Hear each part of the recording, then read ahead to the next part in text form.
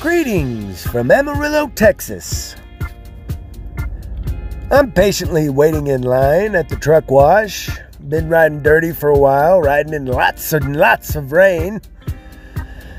And then we're gonna get all spiffied up. We're looking good. We're looking.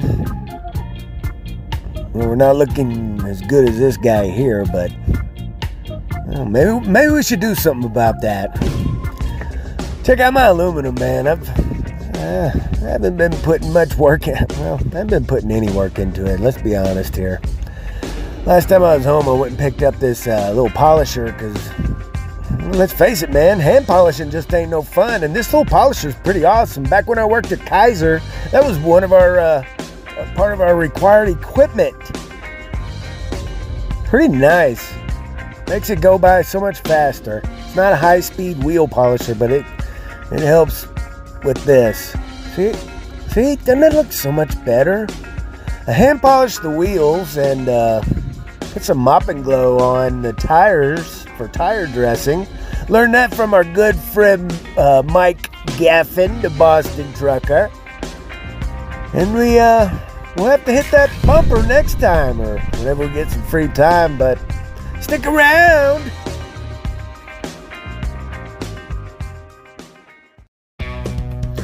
Hey, run over to rumble.com and check out the Traveling Man pre trip, post trip podcast. I left you a link down in the uh, bio. It'll take you straight to registration for rumble.com. And uh, you can follow both my channels, Skyline Flagship and Traveling Man. Check it out. Thank you. Bye.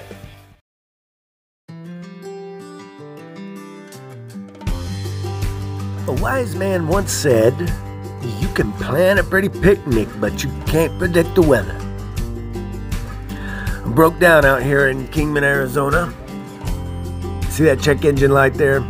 I had two others come on. I had the red flashing stop light come on. Hell, it just shut my truck down. You see here uh, what this code means, saying that uh, something is hot. So I figured if I just maybe stay cool and let this truck get cool, Maybe it'll let me roll somewhere where I can get fixed up. Damn, that sun's bright behind me.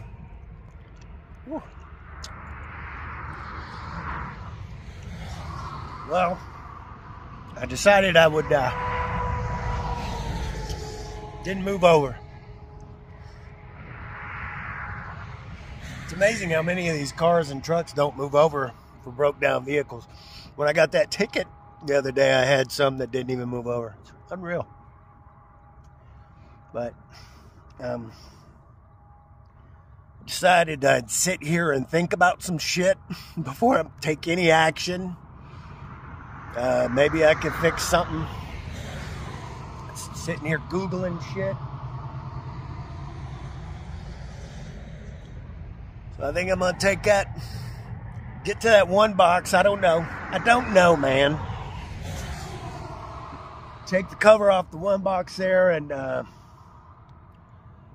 pull some of those sensors, see if I can clean them. I've been watching a couple videos and it's amazing how many people break those trying to remove them. So I'm worried about that. I don't know, to be honest, man, I kind of feel like just getting as much shit out of there as I can and just hoofing it and just getting out of this world forever, man. Leaving this fucking bullshit society. I'm tired of this shit, man. I really am. Don't move over. I've got buddies who've been sideswiped doing this.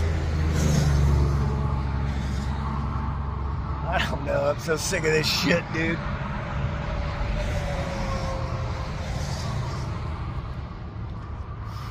All right, I'm gonna, I'm gonna get to work. I'm gonna start taking shit apart. Maybe I'll get a phone call from somebody who knows what they're doing. They know what's going on back home, so I'm gonna start. At least look at these filters. I don't know. Make sure my any wires, everything's good. I don't know. Uh, Gotta do something. Well, I'm not able to even get that off. I've got three, a big old bag of tools here, two toolboxes, and I've got, I've got the Torx, but I don't have that particular size. It's missing. I've got every one, every one in my collection, but that, the one I need there.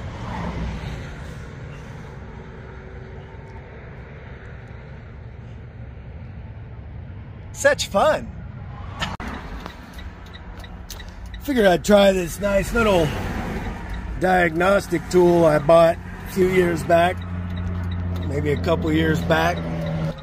Blank screen, doesn't fucking work. Thanks, Harbor Freight. All right, so I called this diesel repair shop, Kingman Diesel Repair down here that's right across the street from uh, the Flying J here in Kingman.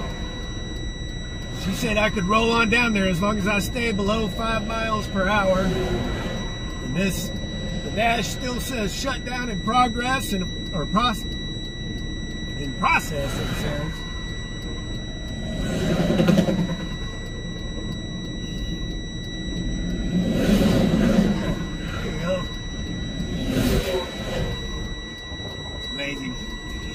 Shut down in process, and of course you can hear the beeping, so I am probably about five miles from the exit right now.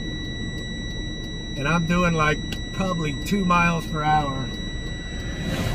Because I don't want it to shut me down again, but hopefully we can get it there without without issue. Amazing nobody let nobody moves over. Or some do, here, here comes a, a four-wheeler. That was two trucks that just went by me, didn't let, didn't move over. Four-wheeler right there. Here comes another truck. Oh, he's moving over. That four-wheeler wasn't gonna let him over, but he. All right, this is annoying as fuck. Ah. All right, Mr. U-Haul, move over. All right.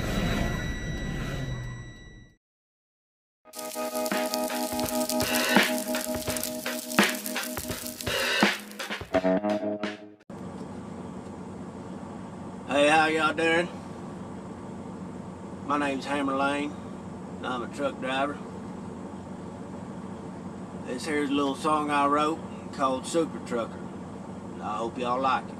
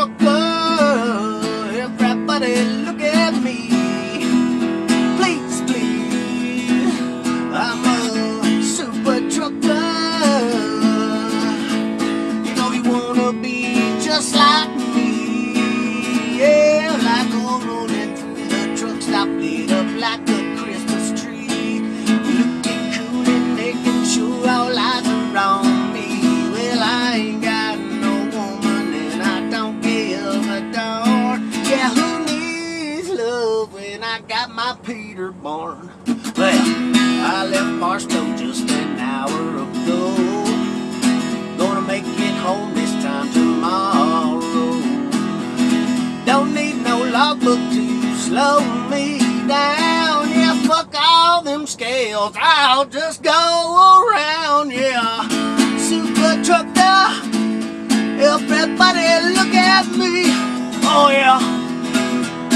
Yeah, yeah. Super trucker.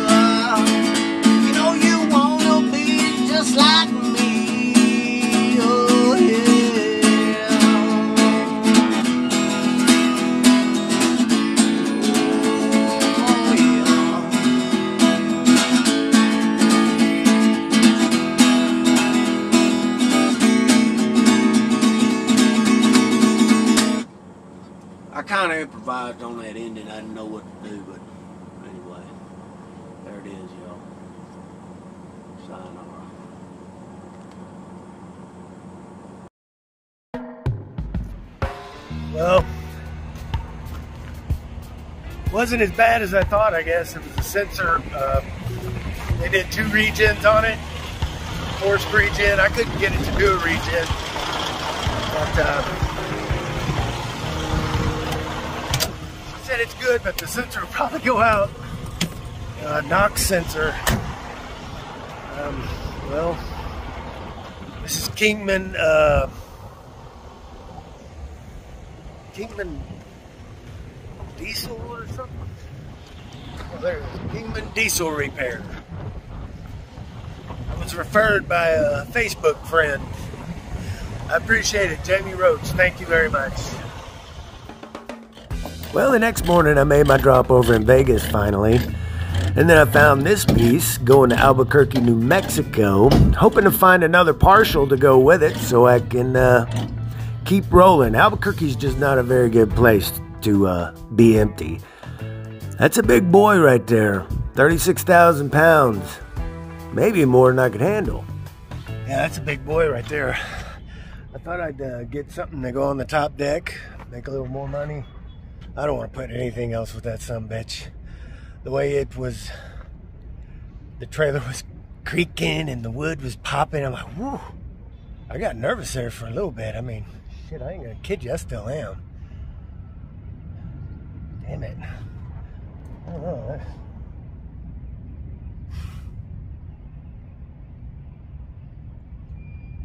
When I got here, the guy was who loaded it.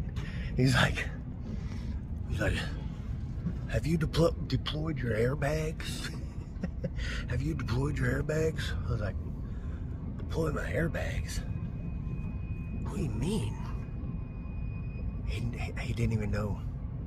I think he means dump them or have them. I, I was like, uh, sure. And he goes, and your axles all the way back or something like that? I'm like, yeah. Come to find out, he had to deal with some other asshole trucker that was here before who had his axle closed and he drove it on with like that 10 feet of overhang on the back, or you know, it, you ain't supposed to do that. It'll tear your shit up. Anyway, I'm gonna roll heading to Albuquerque. Well, I'd love to tell you that I'm really on my way to Albuquerque, but she blew up on me again. Or she didn't blow up. Had the same codes, had the same thing, shut me down. I'm right at the scale in Kingman, Arizona. Called that shop again. They're gonna come uh, do a regen. Well, the code just cleared. It's it's no longer there. No longer showing that I'm uh, shut down or anything. Um, these guys I went to yesterday are they're gonna come and try to get something fixed. Uh, so I'm kind of debating whether I should stay and let them come do that or if I should go ahead and try to get to them so I don't get that roadside service charge. But this hill coming out of this scale is a motherfucker. So I don't know. I'm worried I start climbing that hill and then it's just gonna happen again. you'll see. I think I better sit here and let them come to me. It's going to cost me more money, but shit, I'm worried that I'm going to start climbing that hill and then boom.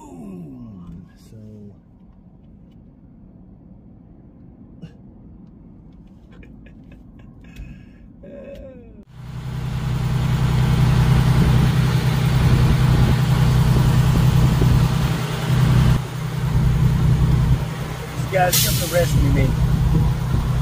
Looks like I'll be going back to their shop and getting an, an NOx sensor or like a I mean, this is just going to keep happening again, so.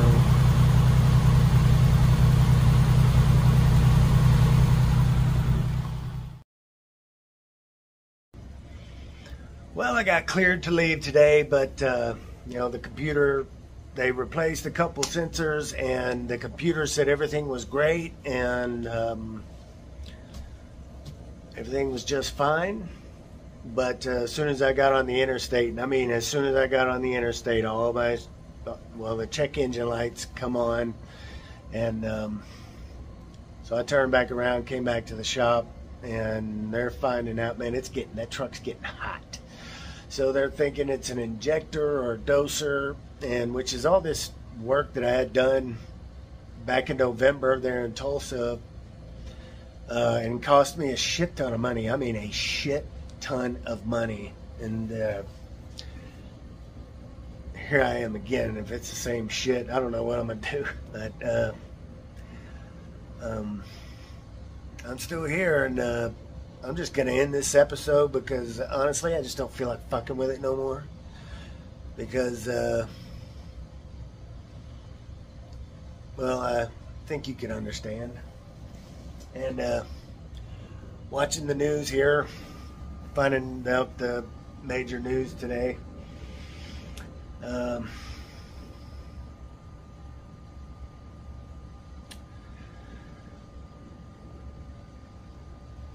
hmm. I'll see you guys next time.